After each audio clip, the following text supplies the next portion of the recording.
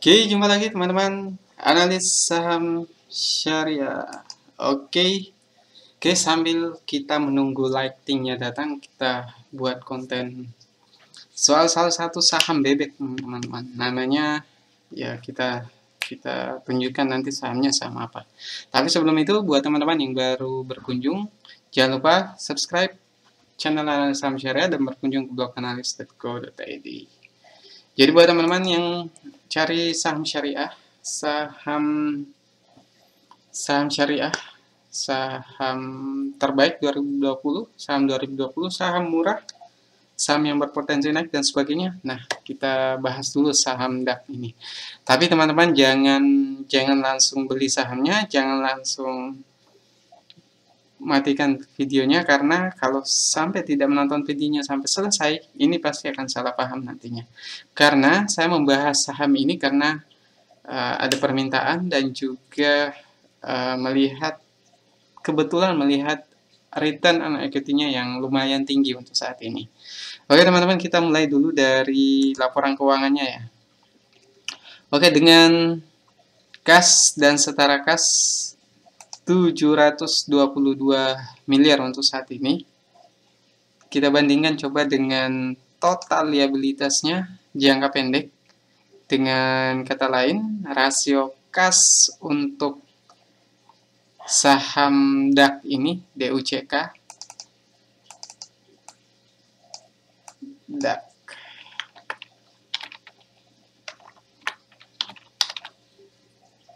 Saham DAK ini 1,38 dengan demikian kasnya ini jauh lebih tinggi dibanding dengan total liabilitas jangka pendeknya. Khusus untuk tahun uh, eh, 2020 ini kita belum punya informasi yang pasti karena ini adalah kuartal 4 2019 belum kuartal 1 2020 dan setelah saya cek uh, ternyata belum masuk sampai sekarang teman-teman. Belum rilis di situs IDX. Jadi ini teman-teman kita ambil pengandaian saja kalau memang saham ini uh, laba bersihnya masih terus naik untuk kuartal 2, 3, dan 4 seterusnya di tahun 2020 maka bisa jadi ini salah satu saham yang berpotensi naik. Tapi teman-teman lihat nanti di akhir video atau di pertengahan video saham ini bisa jadi tidak saya rekomendasikan atau bisa jadi saya rekomendasikan tergantung kita lihat nanti uh, prospek bisnisnya seperti apa dan hitung-hitungan keuangannya seperti apa. Jadi teman-teman jangan sampai beli saham ini langsung karena hanya melihat video ini. Pastikan tonton sampai selesai. Oke, kita lihat uh, sisi lainnya teman-teman. Dari rasio kasnya lumayan uh, positif karena jauh lebih tinggi kas dan dibanding dengan total liabilitas jangka pendeknya. Kenapa ini yang kita bandingkan teman-teman?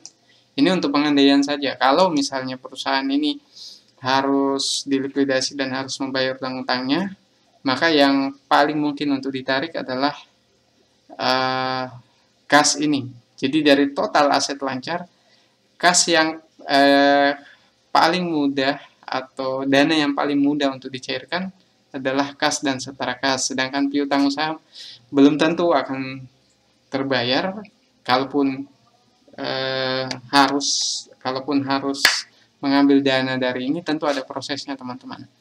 Beda dengan kas dan setara kas karena dia, dia bisa langsung digunakan. Oke, cepat sekali 3 menit.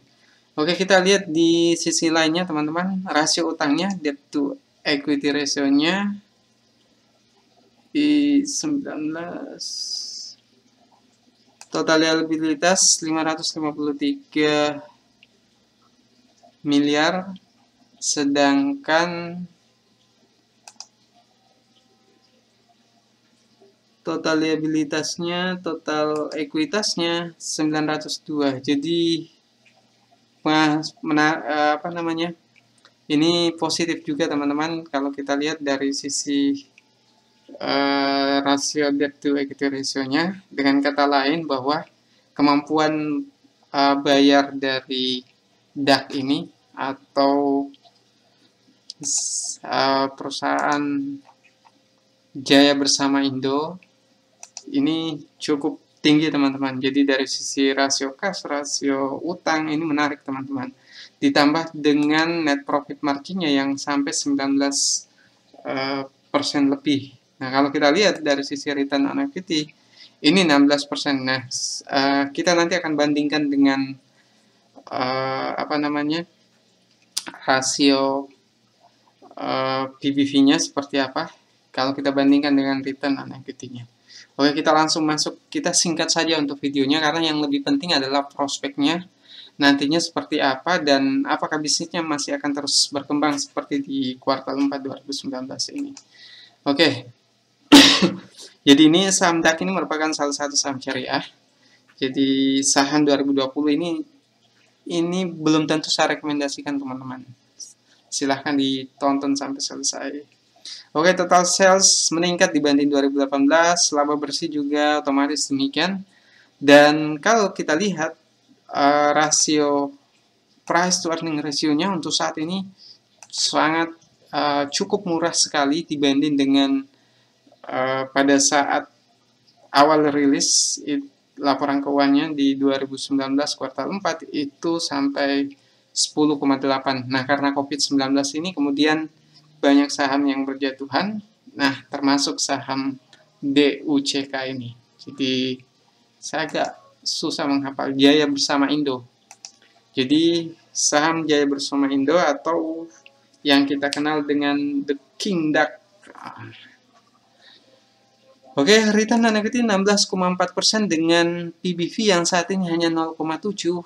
Secara kinerja murah, teman-teman. Secara History juga murah karena PVP eh, di awal awal perusahaan ini eh, IPO ini bisa dihargai, dihargai sampai 2,7 persen. Tapi teman-teman, buat yang pemula saya katakan bahwa saham yang baru melakukan IPO itu tidak bisa kita lihat secara uh, real bagaimana valuasinya dan kinerjanya sehingga saham ini ini belum saya saya pribadi tidak uh, terlalu merekomendasikan karena ini adalah permintaan untuk review. Jadi saya pribadi untuk harga segini ini masih tanda tanya karena kita belum melihat minimal lima tahun terakhir seperti apa pergerakan sahamnya, valuasinya dihargai seperti apa. Nah itu yang lebih penting nantinya teman-teman. Oke, uh, secara valuasi juga murah, secara kinerja juga naik Kemudian kalau kita lihat tadi, uh, sisi amannya, debt to equity ratio-nya juga cukup aman, kemudian rasio kasnya juga aman, sehingga ini secara keseluruhan tampak positif teman-teman, termasuk rasio-rasio lainnya. Nah, kita masuk ke bisnisnya seperti apa biar tidak terlalu lama. Oke, kita lihat dulu profilnya. Jadi, uh, PT Jaya Bersama Indo ini kita kenal dengan The King Duck, The Duck King.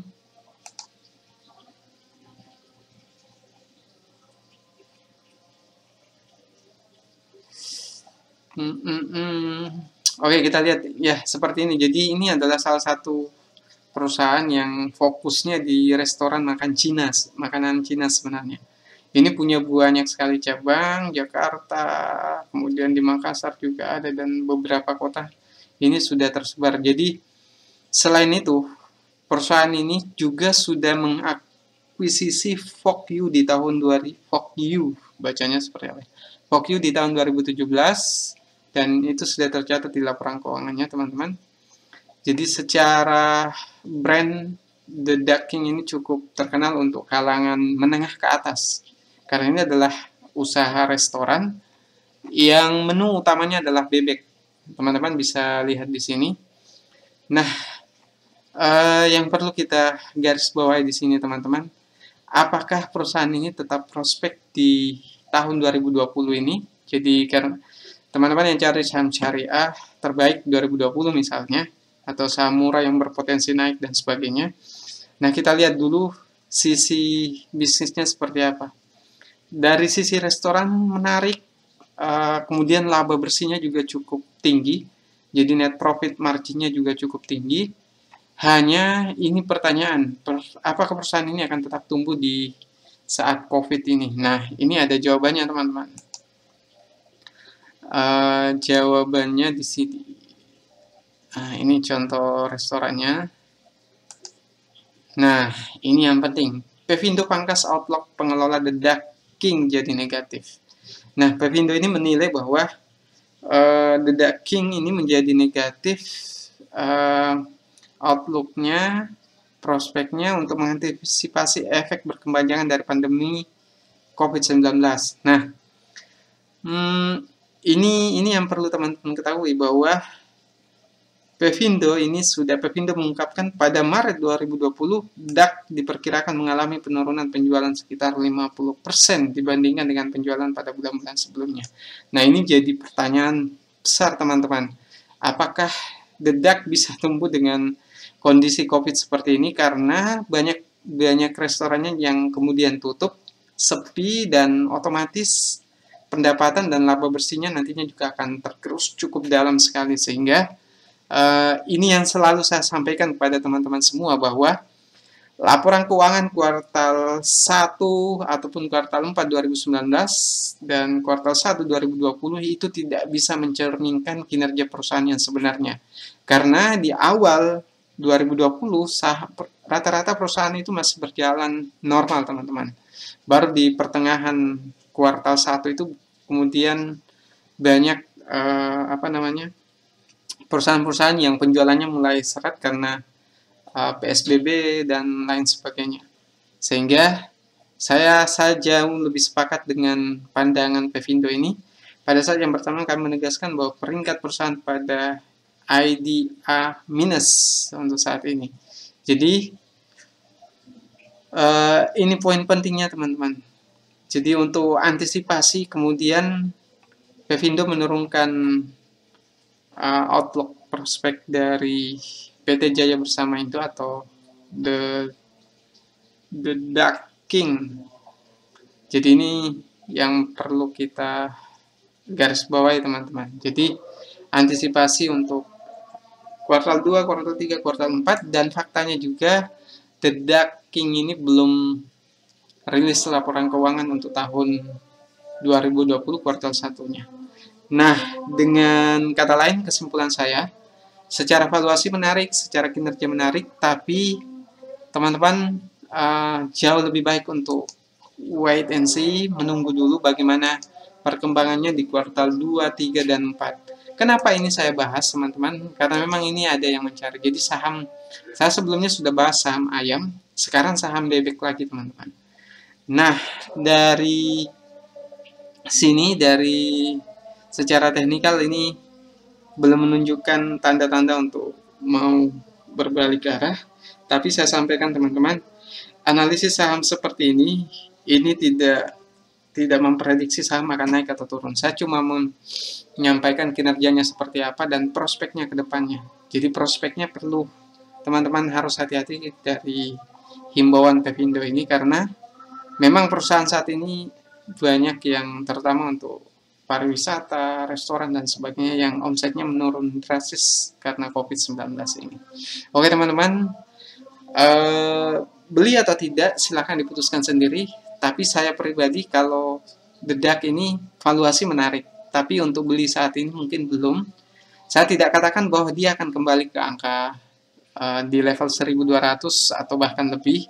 Karena saya tidak melakukan prediksi. Silahkan teman-teman putuskan menarik atau tidak saham ini silahkan dikaji lagi lebih dalam buat analisis yang lebih dalam lagi oke teman-teman yang cari saham syariah saham 2020 terbaik uh, mungkin ini yang bisa saya sampaikan. Sampai ketemu di video selanjutnya yang lebih menarik dengan lighting yang lebih menarik lagi. Sekian dari saya. Assalamualaikum warahmatullahi wabarakatuh.